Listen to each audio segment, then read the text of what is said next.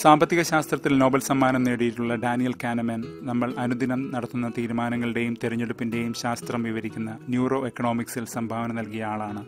അദ്ദേഹത്തിന്റെ കാഴ്ചപ്പാടിൽ നമ്മുടെ മസ്തിഷ്ക നാഡീ വ്യവസ്ഥയ്ക്ക് രണ്ട് തലമുണ്ട്. അപകട സൂചനകൾ ലഭിച്ചാൽ മറ്റൊന്നും ചിന്തിക്കാതെ പ്രവർത്തിക്കുന്ന ഒന്ന് ആലോചിച്ചുറച്ച് അനുഭവങ്ങളെ സ്വായത്തമാക്കുന്ന മറ്റൊന്ന്. മനുഷ്യരിൽ സാധാരണയായി കാണുന്ന പക്ഷപാതപരമായ ചിന്ത മുൻവിധി സ്റ്റീരിയോ ടൈപ്പിംഗ് എന്ന് നാം വിളിക്കുന്ന മുദ്ര ചാർത്തലുകൾ എല്ലാം ഈ വഴികളിലൂടെ വരുന്നു. ഒരു കാര്യവുമില്ലാതെ കാരണങ്ങൾ അത് കണ്ടുപിടിക്കുന്നു.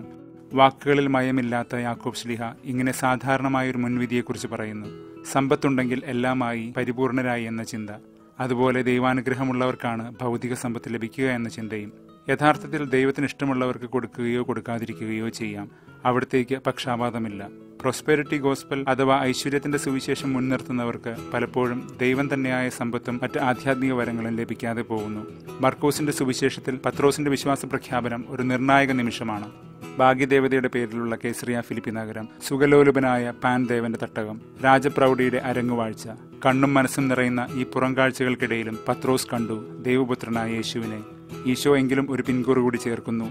ദൈവപുത്രന്റെ മഹത്വം ആസന്നമായ അവന്റെ സഹന മരണങ്ങളിലാണ് പത്രോസിന് അതത്ര ദഹിച്ചില്ലെങ്കിലും പിന്നീട് അവന്റെ ജീവസാക്ഷ്യം കൊണ്ട് അവൻ പറയുന്നു എന്റെ കയ്യിൽ സ്വർണമോ വെള്ളിയോ ഇല്ല ഉള്ളതാകെ ഈശോ മാത്രം.